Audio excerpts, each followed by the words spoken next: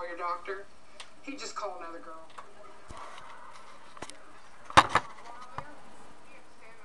How's it going?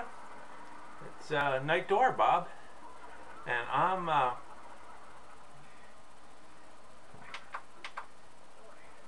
just turning down the TV.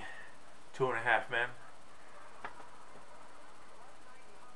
I'm uh, making a video reply to Jay about uh, his idea that he wanted to raise. Uh, what would you, uh, if you had money, no object available to you?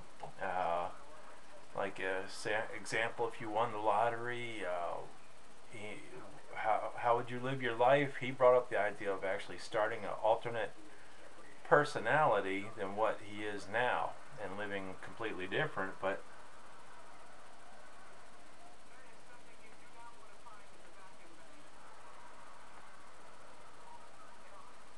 Excuse me, I just started the pipe. I'm trying to keep it going.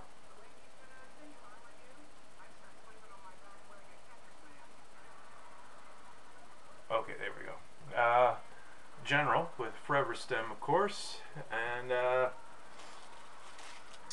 Black Forest from Milan Tobacco. Uh, very nice. It's a vanilla, caramel, and butternut flavor. It's uh, really quite good. I, I am really enjoying that one.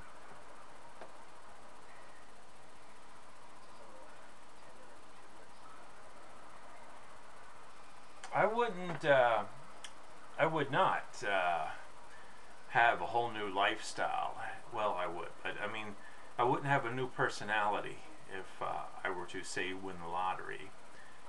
I would take uh, what is for me a minor part of my personality, a, a hobby that I enjoy a lot, and uh, well, let it run to its fullest extent. Play online poker, full fulltiltpoker.com.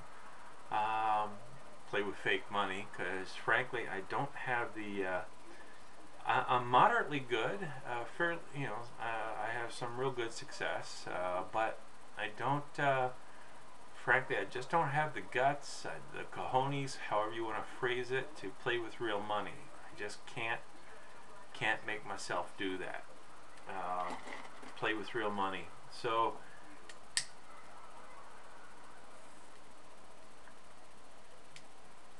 If I was uh, in a situation where I won the lottery, I'd move to Vegas. Start wearing tuxedos and play at the high rollers tables. That's uh, that's what I would do if uh, if I had uh, won the lottery. it would be a new lifestyle, but it wouldn't be a whole new alternate personality. It would just simply be taking what is now a relatively minor part of my personality and expanding it. Of course, I'd also, you know, would have to run to Sri Lanka, visit my good friend Ishi, run out to the UK and visit Glenn and Bill and at ADZ ads, uh, you know, uh, but uh, basically, yeah, move to Vegas, play poker. So there you have it, uh, Jay. Uh, maybe not as exciting as uh, Old Man. Uh, what'd you call it, Old Man Jenkins? But that's that's what I would do. So there you go. Uh, next time. May your roads always be smooth, chicken houses closed, and may your pipe never run empty. God bless.